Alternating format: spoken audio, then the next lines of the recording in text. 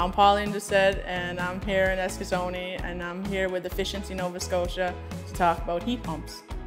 A heat pump is a home heating system designed to bring air inside and outside your home. Today we're here to talk about how to use your heat pump efficiently. There's four modes on your heat pump. It is heat, cool, dry, and fan. For year-round use, aim for a temperature setting between 20 and 21 degrees Celsius. On hot days, we recommend you use your coolant setting at 18 degrees. You should have a professional come clean your heat pump once a year. Outside of professional service, you should clean your filters once a month. You could simply do this by rinsing under warm water, no soap, and leaving out to dry before putting it back into the unit.